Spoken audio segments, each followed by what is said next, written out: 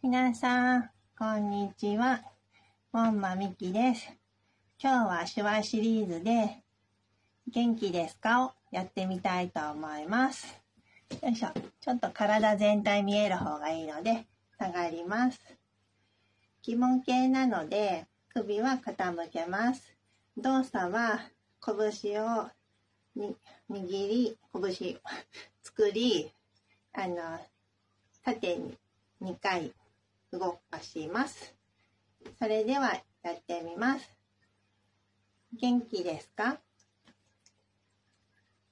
元気ですか？元気ですか？